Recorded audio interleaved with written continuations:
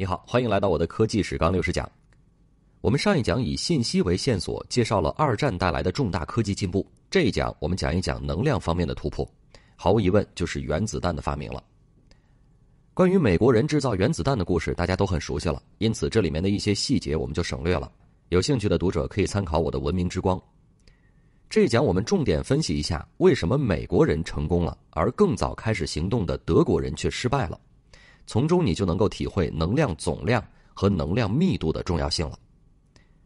我们先来看一看原子弹从理论到武器的几个关键节点，尤其是到了后期，你可以把它看成是一场法西斯和反法西斯科学家惊心动魄的赛跑。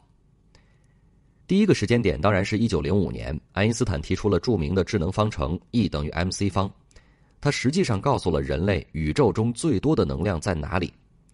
但是在接下来的三十年里，物理学界对这件事情没有什么反应，就连爱因斯坦自己也觉得，要想将物质质量中的能量给利用起来，简直是天方夜谭。第二个时间节点是一九三八年年底，德国放射化学家哈恩和团队在无意中发现了核裂变，在清理核裂变的生成物的时候，发现生成物的质量比最初少了一点点。哈恩把这个结果以信件的方式告诉德国科学家麦特纳。一九三九年，麦特纳等人对这损失掉的一点点质量给出了理论解释。他们认为，的确像爱因斯坦预言的那样，转换成了能量。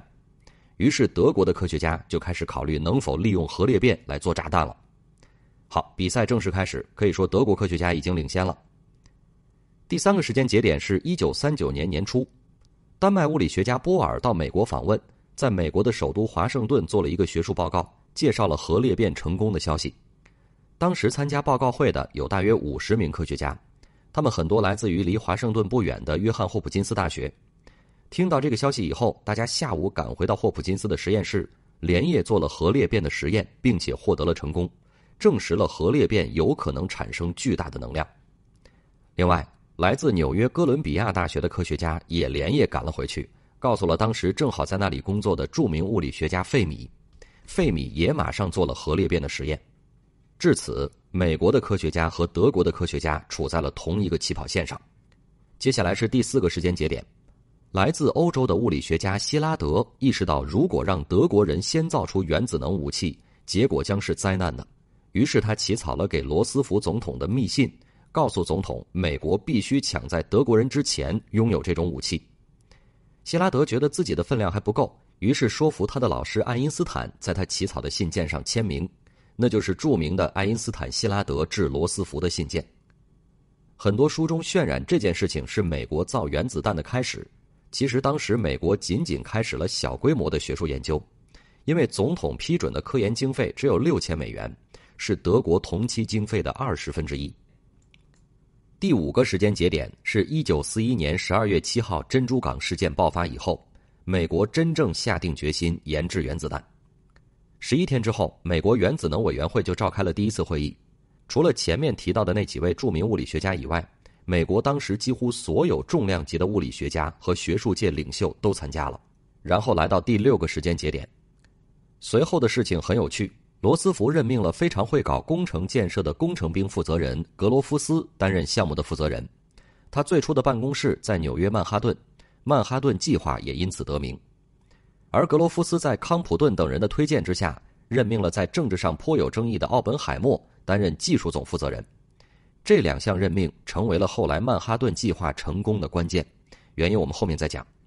第七个时间节点是一九四二年十二月二日。距离珍珠港事件过去不到一周年的时间，费米就领导建成了人类第一个核反应堆，他亲自操控反应堆。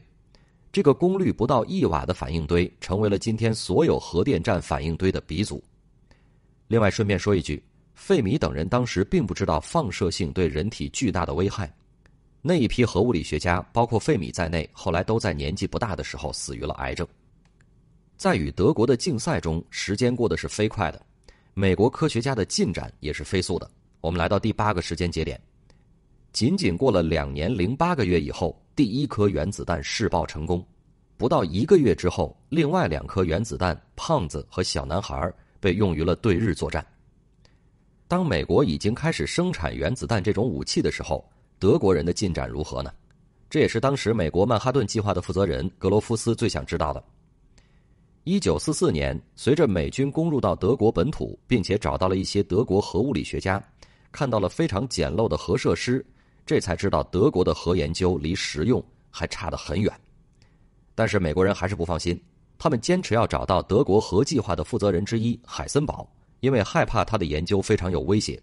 最后，美军如愿以偿了，不仅找到了海森堡，而且看到了他的核设施，就是我放在文稿里的这张图。听音频的朋友可以扫一眼，我估计你看完之后会惊讶不已。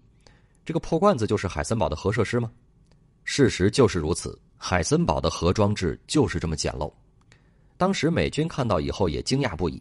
但是让他们更为惊讶的是，海森堡居然还以为德国的工作远远领先于美国。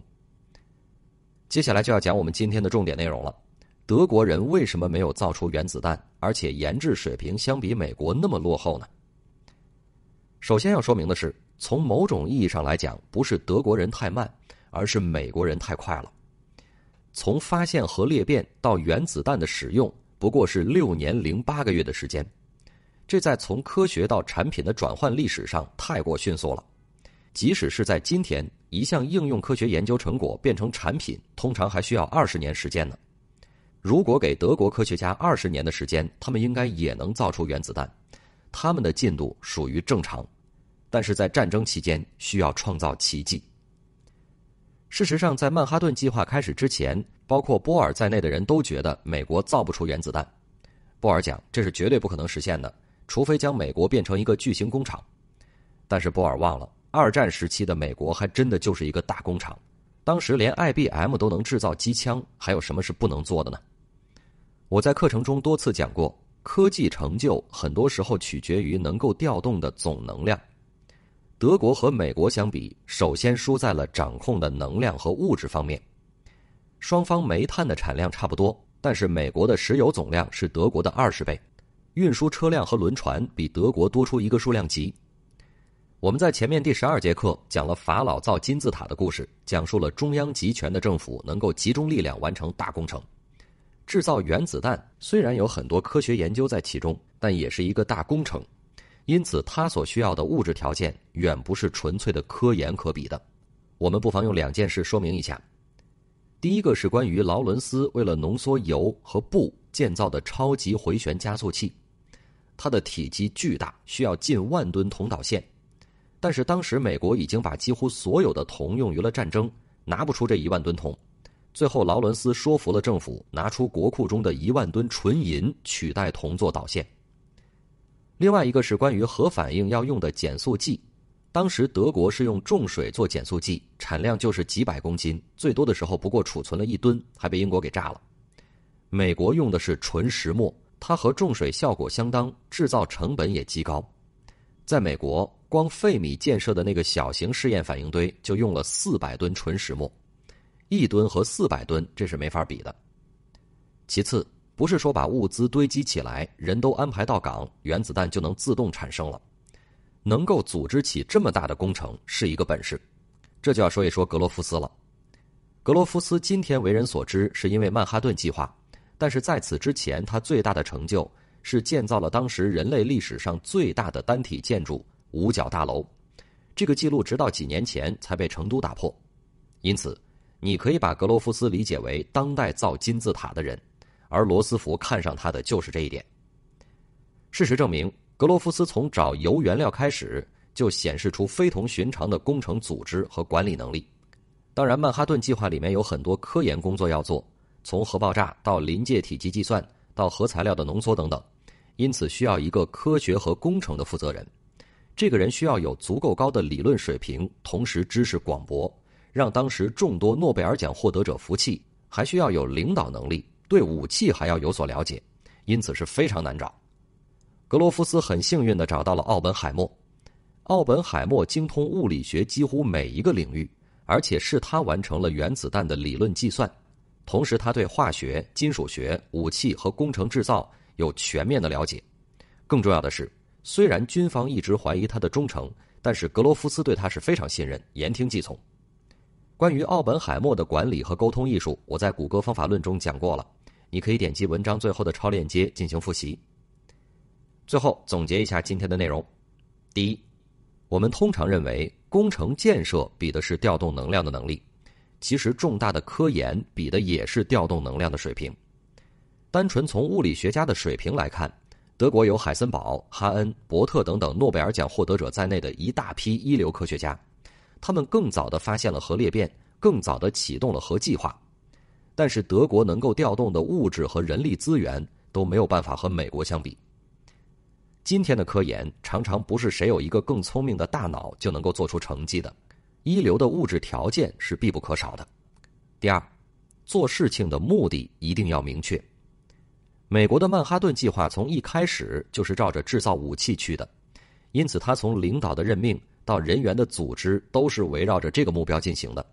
为了造武器，光有科学家和工程师是不够的，而需要有大量的军人和工人。实际上，当时美国都已经没有足够的男劳力来参与曼哈顿计划了，大量的妇女参与了这项工作。听音频的朋友可以扫一眼文中的图片，这是当时三大研究中心之一的橡树岭研究中心下班时候的场景。你可以看出，当地的员工有大量的妇女。相比之下，德国人到最后都没有搞清楚他们是在做研究还是在造武器。第三，原子弹告诉了人类宇宙中最多的能量在哪里。从此，人类利用能量的水平有了一个质的飞跃。今天邀请大家思考的是，在曼哈顿计划之后，你觉得世界上哪项大的科学研究和探索计划可以和它相比呢？